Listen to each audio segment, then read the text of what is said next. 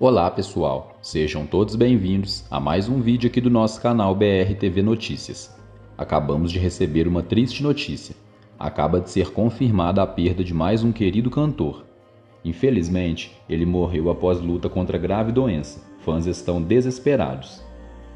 Aos 54 anos, chega a notícia do cantor Rick da dupla com Renner. Fique até o final deste vídeo para que você entenda as três notícias que viemos trazer para vocês. Mas antes, colabore com o nosso canal.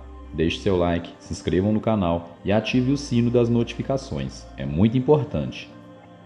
Sem mais enrolação, vamos para a nossa primeira notícia, que é envolvendo o ator Lázaro Ramos. Vocês se lembram dele? E de 0 a 10, que nota vocês dão para suas atuações na televisão? Me conte nos comentários, sua participação é importante e muito bem-vinda aqui em nosso canal. Lázaro Ramos prestou uma linda homenagem exaltando as qualidades da sua esposa, Thais Araújo, no dia em que ela completou mais um ano de vida.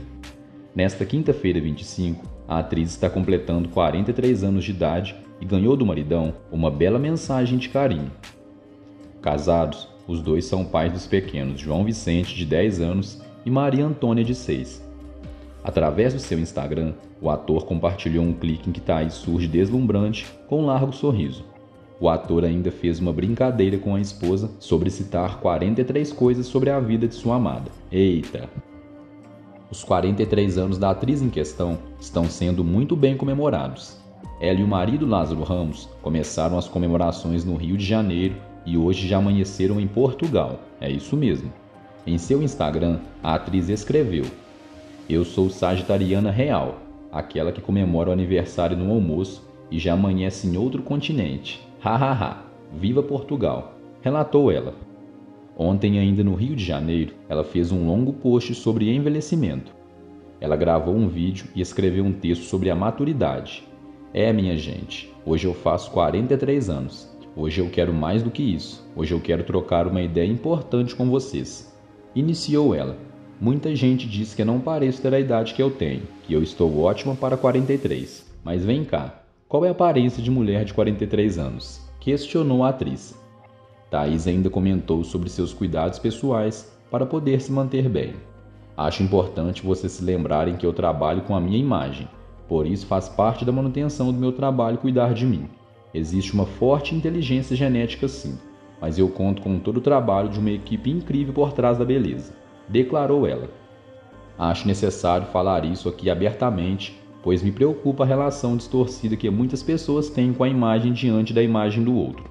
E isso é o tipo de coisa que causa distúrbios. Dá para ver pela quantidade de pessoas tomando remédio, fazendo procedimentos invasivos e até violentos para ficar com aparência de influencer, de atriz ou ator, e acabam se esquecendo que existe uma equipe por trás daquela pessoa. Não se enganem, finalizou ela, pessoal. E vocês, curtem as atuações de Lázaro Ramos e Thaís Araújo, pessoal? e conte nos comentários, é muito importante. Vamos agora para a nossa segunda notícia, que é envolvendo uma grande dupla sertaneja, e é claro que vocês se lembram deles. Estamos falando da dupla Rick e Renner. Vocês curtem as músicas dos cantores? E de 0 a 10, que nota vocês dão para eles? Me conte nos comentários, sua participação é importante e muito bem-vinda aqui em nosso canal. Dono de grandes sucessos sertanejos, entre eles Ela é Demais, Nos Bares da Cidade, Sonho e 200 reais, a dupla Ricker e Rene apresenta turnê Seguir em Frente em Manaus.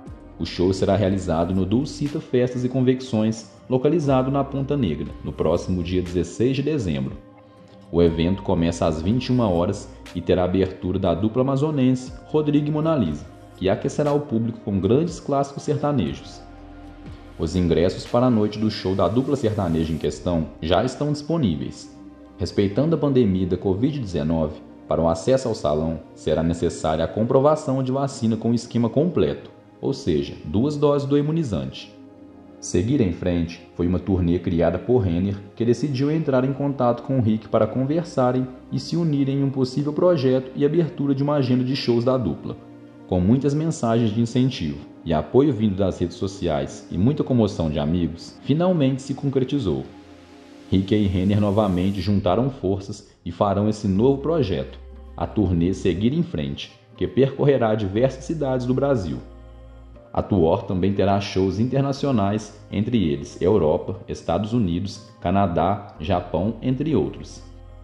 Reconsideramos a volta graças ao carinho que recebemos dos nossos fãs, nos apoiando nesta jornada. Com certeza será um projeto que terá muito amor envolvido e, claro, comprometimento sério. Detalhe a Rick. O projeto trará um CD com 17 faixas gravadas com os maiores sucessos de Rick e Renner e uma música inédita, como assim, de autoria do Rick. Gravado com uma releitura acústica estarão os clássicos Ela é Demais, Nos Bares da Cidade, Filha, Só Pensando em Você, entre outros.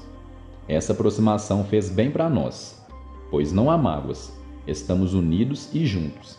Mal posso esperar para sentir o carinho do público novamente e cair na estrada com meu parceiro, completou Renner. Em primeiro momento, a volta de Ricker e Renner será um projeto com dois anos de duração, chamado Seguir em Frente. E vocês, o que acharam de tudo isso? Estão ansiosos para esta nova turnê da dupla sertaneja, pessoal? Me conte nos comentários, é muito importante. Vamos agora para a nossa terceira notícia, que infelizmente é uma notícia muito triste. Desde que o ano de 2021 começou, o meio artístico perdeu muito de seus astros, como atores, cantores, apresentadores, entre outros. Nesta semana, mais uma perda foi anunciada para a tristeza dos fãs de um querido cantor que infelizmente perdeu sua vida. Mais um dia de luto na música, pessoal. Infelizmente, faleceu neste último dia 22 o cantor Antônio Vagon, e seu falecimento acabou sendo confirmado ontem. O cantor foi internado há cerca de um mês no Hospital Regional do Baixo Amazonas depois de ter sido infectado pelo coronavírus. Após sofrer complicações consideráveis, o músico não conseguiu resistir e acabou indo a óbito ainda na unidade de saúde onde foi internado. A morte de Antônio aconteceu na cidade de Santarém, na região oeste do estado do Pará. Antônio Von fazia parte da Academia de Letras e Artes de Santarém e, ao longo dos anos, se tornou um artista consagrado por seu trabalho. Ele tinha vários fãs pelo talento e carisma, compôs 150 músicas no total. Antônio Vagon nasceu em 10 de novembro de 1944 em Belterra, no Pará. No ano de 1970, ele venceu o Festival de Música Popular do Baixo Amazonas. Com voz marcante, Antônio Vagon chegou a participar de grupos como Os Lordes, Jetson e A Quinta Dimensão, nos quais se tornou muito famoso. Fica aqui os nossos sinceros sentimentos aos amigos, fãs e familiares do querido cantor que infelizmente se foi, e que Deus o tenha. Pessoal, se inscreva no canal e ative o sino com todas as notificações. Desta forma, assim que postarmos novos vídeos, vocês serão notificados. E melhor, tudo isso é de graça, pessoal. Então vocês estão esperando o quê? Até o próximo vídeo. Tchau!